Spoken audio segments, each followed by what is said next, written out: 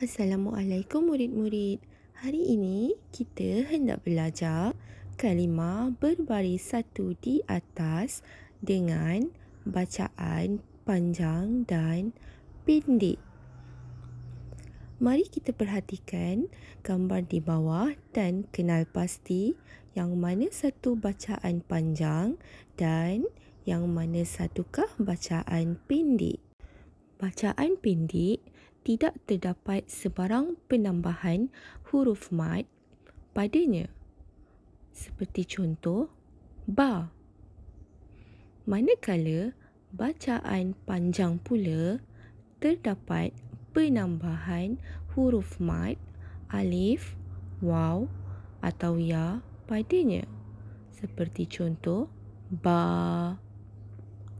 Mari kita lihat contoh yang kedua pula kita baca bersama-sama. Wa. Dan bacaan panjang pula. Wa.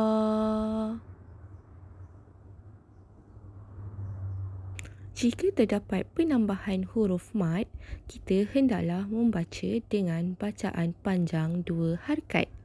Kita baca bersama-sama sekali lagi. Ba. Ba wa.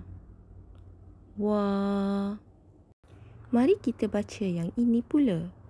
Petak hijau bermaksud hendaklah dibaca dengan panjang dua harkat. Jika terdapat penambahan huruf mat alif ataupun alif kecil hendaklah dibaca dengan panjang. Petak berwarna biru dibaca pendek Contohnya ba ba ba ja ja ja da da da za za za so so so zo zo zo fa fa fa la la la a a a ya ya ya.